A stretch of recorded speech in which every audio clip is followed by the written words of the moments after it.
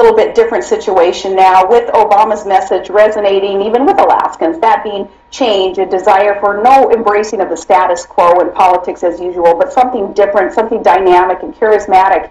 Um, that does resonate well, that message of Obama's.